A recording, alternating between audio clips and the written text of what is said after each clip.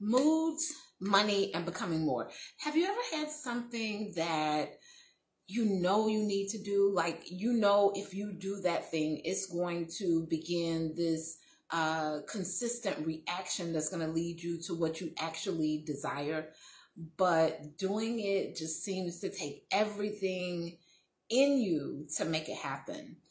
Uh, so oftentimes, guys, one of the reasons why we struggle to get to our next level is because the thing that we need to do is not our normalcy.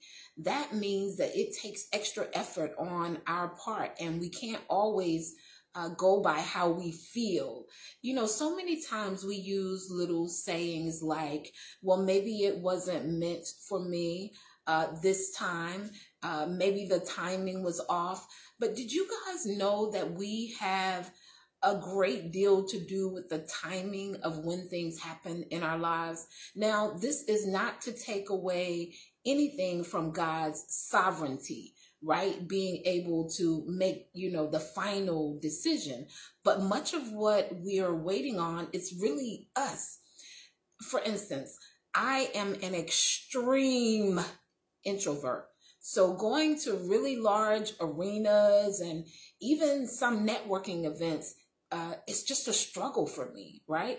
And so I have to prepare myself by, you know, casting down the thoughts because they come in our mind as all these different reasons that are actually excuses as to why we don't get it done. Maybe your thing is, you know, you want to lose weight or you want to become healthier or change your uh, your eating habits but you know the effort you don't go to the grocery store you don't get the right food you don't have what's needed to eat healthy in the home. Preparation is so powerful.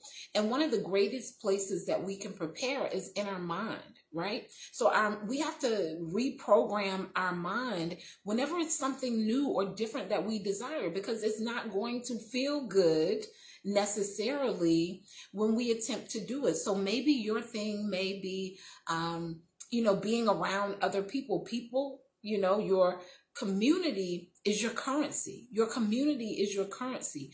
And so you have to reprogram some of the mindsets that you know, got you to the level that you're on, but definitely won't get you to where it is that you desire to go. I mean, all kinds of things will come up when you set out to do things differently that you know are going to allow you to become more, things that you know will allow you to, you know, earn more revenue. I remember going to a conference years ago, and one huge thing that I learned from that conference was this phrase called take action now. And every now and then, I just have to repeat that phrase. I have to cast down, you know, any other thoughts that are making me go do all the stuff that really don't matter, right? Instead of doing that one thing that I know is going to move me to the next level.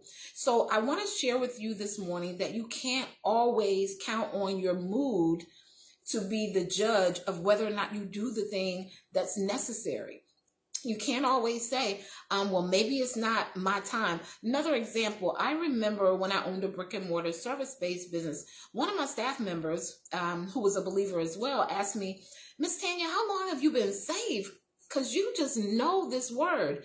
And I was like, well, you know, I really seriously gave my life to Christ maybe three to four years ago. And they were like, wow, it just seems like you've been saved all your life because you really know the word. But it wasn't the number of years, guys. It was the number of hours. It was the time that I spent in the word that positioned me to understand it even more.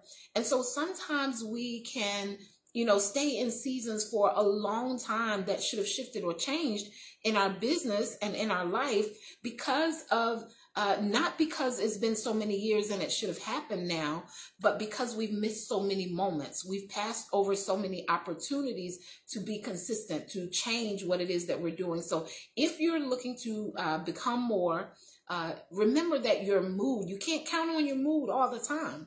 The mood that's telling you, ah, that's not something I really like doing, but you got to know that the things that you did before are not the same things that are going to get you to the space where you become more.